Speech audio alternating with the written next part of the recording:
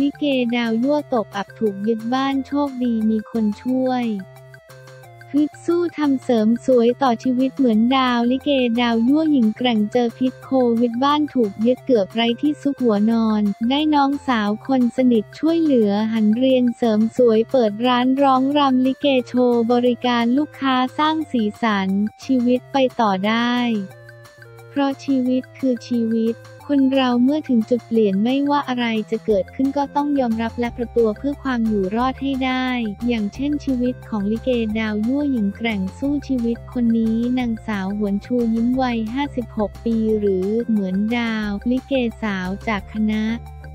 เหมือนดาวรุ้งเดือน ช่วงโควิด ระบาดไร้งานการแสดงชีวิตตกอับจนต้องถูกยึดบ้านแทบไร้ที่ซุกหัวนอน advertisement เหมือนดาวและครอบครัวเดือดร้อนหนักมองไม่เห็นทางจะแก้ไขปัญหาชีวิตจากวิกฤตโควิด -19 ในครั้งนี้จังหวะโชคดีมีน้องที่สนิทกันช่วยเหลือแนะนำอาชีพให้โอกาสเปิดร้านเสริมสวยช่วยชีวิตให้ไปต่อได้ Advertisement ชีวิตของเหมือนดาวที่ยิ่งกว่าละครหลังก้าวข้ามผ่านความโชคร้ายมาได้ ถือเลิกดีวันที่ 11 เดือน 11 วันที่ 11 พฤศจิกายน 64 เปิดร้านเสริมสวยชื่อร้านเหมือนดาวบิวตี้ตั้งอยู่เลขที่ 100ทับ75 โครงการหมู่บ้านเอื้ออาทร 2 บึงพระตำบลบึงพระอำเภอเมืองจังหวัดพิษณุโลกวันแรกเหมือนดาวแต่งชุดลิกจัดเต็ม ร้องรำบริการแต่งหน้าทำผมให้กับลูกค้าสร้างสีสันในร้านอย่างสนุกสนาน เหมือนดาวเล่าว่าชีวิตตนนั้นเหมือนนางเอกลิเกมาก มีสุขเศร้าเหงารักตกระกรรมลำบากชีวิตครบรส แต่เวลาที่ทำการแสดงต้องรับบทเป็นดาวยั่ว ซึ่งแตกต่างกันมากตนรักอาชีพลิเกมาตั้งแต่เด็กๆ ถึงแม้ว่าคุณพ่อจะไม่ชอบก็ตาม เพราะคุณพ่อเห็นว่าครอบครัวเรามีอาชีพทำนา ไม่อยากให้ลูกหลานต้องไปทำอาชีพ เต้นกินรำกิน กลัวคนเขาจะว่าเอาได้ advertisementนต์ แต่ตนมองว่ามันเป็นเรื่องของศิลปะการแสดง ด้วยใจรักจึงของสู้ไม่ถอยพยายามออดอ้อนคุณพ่อขอไปเรียนลิเกอยู่นานก็ไม่ใจอ่อน จนวันหนึ่งคุณพ่อได้ทดสอบความตั้งใจจริง บอกกับตนว่า ให้ไปหอบข้าวที่ตากไว้มาเก็บในยุ้งข้าวให้เสร็จถึงจะอนุญาตให้ไปซ้อมลิเกได้ แม้ระยะทางจะไกลเป็นกิโล ตนก็ไม่ย่อท้อรีบหอบข้าวในนามาเก็บไว้ได้จนเสร็จในคืนเดียว ทำให้คุณพ่อต้องยอมให้ไปเรียนลิเกกับพี่ๆ จนได้ จากนั้นตนได้ร่ำเรียนฝึกฝนจนชำนาญและเริ่มเล่นลิเกในคณะเหมือนดาว รุ้งเดือนมาตั้งแต่ปี 2522 จนถึงปัจจุบันรวมแล้วก็ 42 ปีที่จะต้องเดินทางไปแสดงตามที่ต่างๆ นับไม่ถ้วน ตลอดเวลาตนจะเป็นคนใฝ่เรียนรู้เรื่องบทกลอนลิเกเพื่อพัฒนาความสามารถให้มากที่สุด และก็ได้รับบทดาวยั่ว มาตลอดรายได้จากน้ำพักน้ำแรงตลอดชีวิตก็พอจะมีเงินเก็บอยู่ก้อนหนึ่ง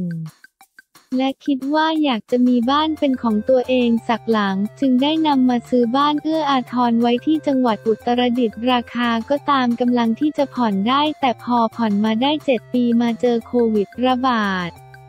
อาชีพการแสดงต้องหยุดชะงักเพราะถูกห้ามแสดงและไม่มีใครมาว่าจ้าง สุดท้ายพอไม่มีรายได้ก็ต้องทำใจให้บ้านถูกยึดไปในที่สุดด้วยความที่เป็นคนไม่ยอมแพ้กับอะไร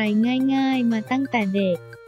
เมื่อเจออุปสรรคชีวิตก็จะบอกตัวเองเสมอว่าต้องสู้และอดทน ระหว่างที่คิดอยู่ว่าชีวิตนี้จะทำอย่างไรต่อไป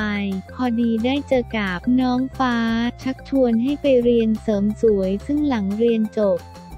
น้องฟ้าได้เปิดโอกาสให้ตนมาทำร้านเสริมสวยอยู่บ้านเอื้ออาทรที่บึงพระจังหวัดพิษณุโลกเพื่อที่จะมีอาชีพเลี้ยงตนเองได้ ตนไม่เคยคิดมาก่อนว่าชีวิตจะพลิกผันได้ถึงขนาดนี้ ซึ่งการทำอาชีพเสริมสวยก็ตรงกับคอนเซปต์ของตนอยู่แล้วที่ชอบในการรักสวยรักงาม โดยตนจะให้บริการสุดฝีมือไม่ทำให้ลูกค้าร้านเสริมสวยเหมือนดาวบิวตี้ผิดหวังอย่างแน่นอน เหมือนดาวย้ำว่า ค่าบริการร้านเสริมสวยเหมือนดาวบิวตี้จะคิดราคาไม่แพง เพราะเห็นใจลูกค้าที่ได้รับผลกระทบจากโควิดเหมือนกับเรา โดยราคาตัดสะสำหรับเด็ก 80 บาท ผู้ใหญ่ 150 บาทเท่านั้น หลังจากเปิดร้านมาก็มีลูกค้าทั่วไปมาใช้บริการกันอย่างต่อเนื่อง ก็คิดว่าเมื่อลูกค้าประทับใจบริการเขาก็จะบอกต่อกันไปเรื่อยๆ อย่างไรก็ตาม เหมือนดาว ก็ไม่ทิ้งอาชีพลิเก ถ้ามีงานก็จะไปเล่นลิเกด้วย หากท่านใดต้องการติดต่อลิเกคณะเหมือนดาว รู้เดือนก็สามารถติดต่อได้ที่ 0656525524 ได้เช่นกันตนคิดเสมอว่าคนเราหากไม่ย่อท้อชีวิตก็จะมีโอกาสดีๆ อย่างแน่นอนที่สำคัญอย่าไปอายทำกินอย่าหมิ่นเงินน้อย เราจะมีโอกาสที่ดีได้สักวันหนึ่ง เชื่อว่ามีหลายคนที่ท้อแท้กับชีวิตและสิ่งต่างๆ มากมาย แต่ถ้าสร้างแรงบันดาลใจให้ตัวเองได้ก็จะทำให้เราก้าวผ่านต่ออุปสรรคไปได้อย่างแน่นอน เหมือนดาวกล่าวทิ้งท้าย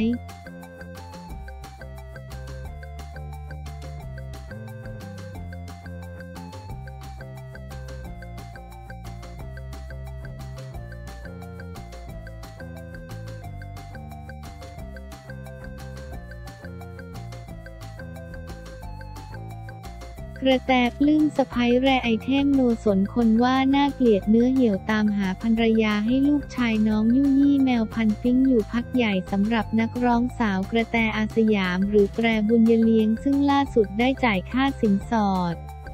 ภรรยาของน้องยุยี่เกือบ4แสนบาทและรับมาอยู่ด้วยเรียบร้อยแล้ว โดยกระแตได้ให้สัมภาษณ์กับข่าวสดบันเทิงออนไลน์ว่า พอดีกระแตจะรู้จักคนที่เขานำเข้าแมว และได้รับการยอมรับจากสมาคมแมวสฟิงค์ ได้รับรางวัลเยอะแยะมาก เพราะในไทยก็ยังไม่มีแมวที่ถูกสปกแต่ก็พิจารณาดูเกือบปีนะคะ โพสต์ไว้นานมากแล้วหาลูกสะใภ้ให้ยุยี่ลูกชายคนแรก คือนางก็เป็นหนุ่มเต็มตัวแล้วหนูเลยอยากได้ตัวเมียอีกตัวหนึ่ง ก็ได้ของประเทศรัสเซียเพจเขาคนก็ตามเยอะเหมือนกัน เขาก็ทำฟาร์มแมวสฟิงซ์แล้วก็เป็นสฟิงซ์ rare item นิดหนึ่งหายากจริงๆ เปิดมาเจอหลายตัวแต่ไม่ทันเลยค่ะ มีตัวสวยๆเยอะมากคือสมาคมคนที่เขาเล่นแมวสฟิงซ์บางทีเขาจองตั้งแต่อยู่ในท้องเลยค่ะ ถ้าเกิดเขาเห็นคุณพ่อคุณแม่ฟอร์มดีสวยๆ ก็คือจองลูกเลย ราคาก็แสนจะแพง สฟิงค์ราคาจะสูงนิดนึงค่ะถามว่าช่วงนี้ก็เริ่มเป็นที่นิยมในบ้านเราแล้วนะ เพราะหลายๆ คนก็เริ่มตามหาฟิงค์กัน เพราะว่าแรกๆ เวลาแต่อุ้มไปไหนคนจะบอกตัวอะไรไม่เคยเห็นเลยแมวหรือหมาน่าเกลียดแต่เราไม่โกรธนะเราก็ขำเพราะเรารักในความเหี่ยวของมันนั่นแหละยิ้มใช่มันน่าหยุมค่ะ อย่างที่บอกตัดสินใจนานด้วยราคา จริงๆ แล้วราคาก็มีส่วนแหละ แต่ใจหนูรักที่เขาหน้าตาน่ารักมากกว่า คือถูกชะตาบอกไม่ถูกแรกพบอะคือถ้ามองแล้วถูกชะตาน่ารักก็คืออยากได้จริงๆ อยากได้หลายตัวแต่ว่าไม่ทันไงคะ ตอนนี้มองว่าปีหน้าเราก็จะมีฟาร์มสฟิงของเราด้วย ยังไม่แน่ใจว่าจะเป็นฟาร์มเพื่อขายหรือเปล่า อยากมีเด็กๆ เพราะว่าเรามีทั้งหมาแมวแล้วเดี๋ยวจะมีนกเลี้ยงสัตว์หลายชนิดมากที่บ้าน ยู่ยี่ตาสวยมาก ราคาเท่าไหร่ยูยี่เป็นสฟิงค์ที่ผิวสีชมพูขาว แต่เขาพิเศษตรงที่มีตาสองสีฝั่งหนึ่งสีฟ้าฝั่งหนึ่งสีเหลืองก็โดนไปเกือบสองแสนค่ะคลีโอล่ะ รวมทุกอย่างแล้วจริงๆ ค่าตัวเขาคือเกือบ 3 0 0แสนเลยค่ะคือเพจที่รัสเซียเขาตั้งราคาไว้อย่างนี้ แต่ว่าเขาก็ได้ทำการติดต่อ connect ให้ แล้วก็มีค่านำเข้าประมาณ 25,000 ถึง 30,000 บาทแล้วก็ค่าเครื่องจากรัสเซียจ้า แล้วก็ค่าอื่นๆ รวมๆ เกือบ4 0 0แสน มีแนวโน้มจะหาภรรยาคนที่สองให้ยูยี่ หาอยู่ค่ะตอนนี้คือแตอยากได้อีกพันธุ์หนึ่งก็คือเป็นสฟิงซ์นะแต่จะอีก feeling หนึ่งคือน้องจะหูบิดแต่คือสฟิงซ์เหมือนกันแล้วเขาขาสั้นค่ะปุกลุกดีหาอยู่ค่ะยังไม่โดนใจเท่าไหร่ ถ้ามันมาก็จะได้โพสให้เห็น เพราะตั้งใจจะหาอีกพันหนึ่งไม่ได้เอามาเป็นลูกสะพ้ยใช่ไหม อาจจะเอาอีกคู่หนึ่งค่ะเดี๋ยวรอบ้านใหม่เสร็จ เพราะว่าตอนนี้ยังไม่พร้อม แต่บ้านใหม่ก็คือมีบ้านหลังหนึ่งให้เด็กๆเลยค่ะ เด็กๆ ทั้งแมวและสุนัขเขาอยู่ด้วยกันค่ะเขาเล่นกันตอนนี้คือนอนอยู่ในห้องแต่ทั้งหมดคือแบบโอ้มันไม่มีที่จะนอนแล้วนางก็เล่นกันตอนกลางคืนแล้วเราก็ไม่ค่อยได้หลับ เพราะเขาเล่นกันตอนดึกดึก ทาสแมวจะรู้ว่าแมวจะนอนกลางวันตื่นกลางคืน ตีสามถึงสี่ก็วิ่งกันเต็มห้องไปหมดเลยเลยปลูกบ้านใหม่หลังหนึ่งให้เขา ถ้าวันไหนอยากไปนอนกับเขาก็จะไปนอนหลังนั้น นอนกับเด็กๆค่ะ เป็นทาสแมวเป็นทาสหมาทาสแมวค่ะ คุณแม่ว่ายังไงบ้างยิ่งกว่าถอยรถ มีบ่นค่ะแต่ว่าเขาก็เข้าใจว่าความรักความชอบไม่เหมือนกัน เหมือนคนชอบรองเท้าก็จะสะสมรองเท้า คนชอบกระเป๋าก็จะซื้อกระเป๋ากระแตก็ไม่ติดแบรนด์เนมอะไร คือไม่ได้ซื้อของแบรนด์เนมขนาดนั้น แต่ชอบซื้อหมาแมว ก็จะเล่นไอเทมที่มันแรหายากอย่างหมาเจ้ากระตังเจ้ากระปุกพันอลาสกันมาลามิวก็ตัวแสนห้าเกือบสองแสนเหมือนกันค่ะคือหนูไม่ได้เป็นคนที่ต้องซื้อตัวแพงถึงจะเลี้ยงได้ ไม่ใช่นะคะ คือตั้งใจว่าจะให้เขาเป็นพ่อพันธุ์ แม่พันธุ์ที่ดีด้วยแค่อยากได้ฟอร์มสวยๆ อย่างที่บอกในอนาคตแต่จะมีโปรเจกต์ที่เป็นธุรกิจเกี่ยวกับฟาร์มหมา แมวด้วยแล้วก็ทำร้านขายสัตว์เลี้ยงด้วย ก็อยากสร้างสตอรี่ให้เด็กๆ มีคนตามตอนนี้ก็เริ่มมีคนรู้จักเด็กๆ เยอะขึ้นมีแต่คนติดตามว่าเมื่อไหร่จะอัพคลิปกระตัง กระปุกคนชอบหมาแมวเนื้อมันดูแล้วน่ารักแต่ก็เลยอยากได้ตัวดีๆ ฟอร์มสวยๆ ก่อนเป็นพ่อพันธุ์แม้พันธุ์ดีๆเลยเลือกตัวที่แพงนิดนึงค่ะ ลูกของคลีโอมีคนเริ่มจองกันหรือยัง ยิ้ม มีคนบอกว่าจองลูกค่าเยอะเลยเข้าใจเลยคนที่รักน้องสฟิงจริง ๆ เขาจะรู้เลยว่าพ่อแม่เป็นยังไง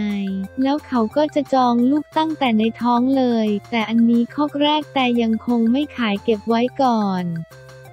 แต่ถ้าน้องมีต่อไปคงค่อยแบ่งๆกัน แต่คิดว่าออกมาต้องสวยมาก เพราะพ่อเขาก็ตาสองสีเขามียีนสองสีแล้วผิวเขาก็ดีด้วยแข็งแรงส่วนคลีโอก็มาเป็นแรเลย ซึ่งเขาเป็นไบโอคัลเลอร์คือมีสองสีขาวและดำ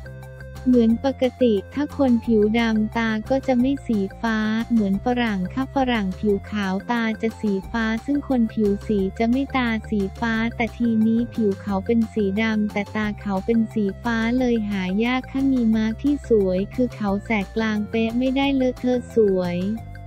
และเหี่ยวยิ้ม ยิ่งเหี่ยวยิ่งแพงค่ยิ่งเหี่ยวเหี่ยวยับยับสฟิงคือแพงมากจะเข้าหอเมื่อไหร่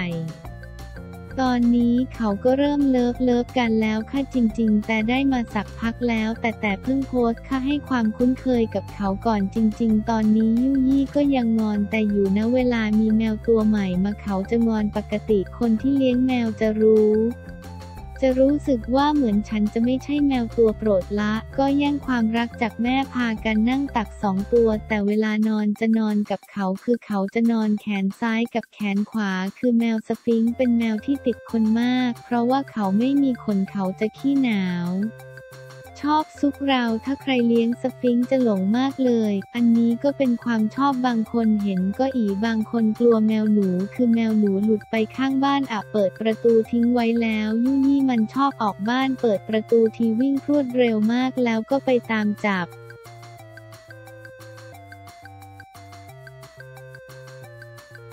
เขาก็ไม่กล้าจับเขาบอกให้หนูไปอุ้มเองคือมันอยู่ในบ้านเขาขำหัวเราะคนไม่ชอบก็คือไม่ชอบไงแต่เรารักของเราดูแลยากไหม ยากง่ายพอๆกันคือก็เลี้ยงง่ายนะง่ายแบบที่เราไม่ต้องซื้อที่กลิ้งขน คือแมวบ้านแต่จะมีอีกพันเป็นเปอร์เซียเนี่ยแหละมีอีกสามตัวอยู่ที่บ้านน้องกระต่ายคืออยู่บ้านเดียวกันนั่นแหละ แต่ว่ากระต่ายเขาจะเลี้ยงเปอร์เซียสามตัวอุ้มที คือต้องจัดการขนปกติขนแมวขนหมาจะเต็มไปหมดเลย คือหมามันต้องให้อาหารเป็นเวลา แต่แมวเราเลี้ยงง่ายเวลาเขาเออเขาก็กลบของเขาเอง แล้วบ้านแต่ก็มีห้องน้ำอัตโนมัติค่ะ พอเขาอือเสร็จเครื่องมันก็ทำงาน คือหนูไม่ต้องทำอะไรเลยยากอย่างเดียว ด้วยความที่ผิวหนังเขาไม่เหมือนแมวทั่วไป ผิวเขาเหมือนหนังเราเลยไม่มีขน เราต้องคอยเช็ดเขาค่ะ ถ้าเขาเช็ดบ่อยตัวจะได้สะอาดนางจะมีเหงื่อมีใครเหมือนคนเลยแล้วถ้าเราไม่เช็ดเขามันก็จะเป็นคราบสกปรกได้แค่นั้นเองเลี้ยงไม่ยากเลย ตอนนี้มีทั้งหมดกี่ตัว ถ้านับรวมที่บ้านแมวมีทั้งหมด 5 ตัวมาอีก 2 ตัวถือว่าเป็นพ่อพันธุ์แม่พันธุ์ที่ดีค่ะ หัวเราะอาจจะมีตัวที่หายากหรือพิเศษกว่านี้อีก แต่เราจับไม่ทันคนอื่นเอาไปก่อน